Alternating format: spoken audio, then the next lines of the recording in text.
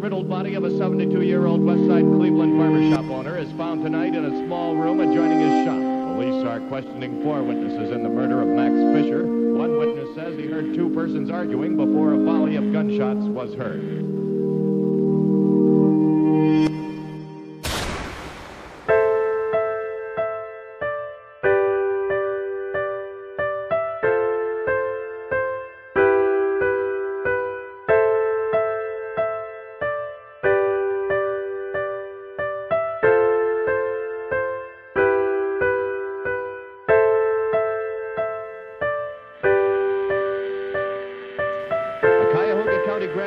Criticizes members of the clergy today. The grand jury investigating last summer's Hough area riot says some members of the clergy helped the rioters, saying that it is of grave concern that members...